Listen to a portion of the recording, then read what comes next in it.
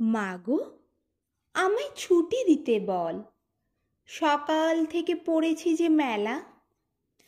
এখন আমি তোমার ঘরে বসে করব শুধু পড়া পড়া খেলা। তুমি বলছো দুপুর এখন সবে, না হয় যেন সত্যি হলো তাই। একদিনও কি দুপুর বেলা হলে বিকেল হলো মনে করতে নাই? আমি তো বেশ ভাবতে পারি মনে, সূর্য ডুবে গেছে মাঠের শেষে। বাগদি বুড়ি চুবড়ি ভরে নিয়ে শাক তুলেছে পুকুর ধারে এসে।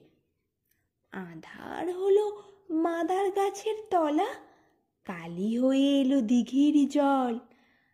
হাটের থেকে সবাই এলো ফিরে, মাঠের থেকে এলো চাষির দল। মনে কর না। উঠল সাঁঝের তারা। মনে কর না সন্ধে হলো যেন। রাতের বেলা দুপুর যদি হয় দুপুর বেলা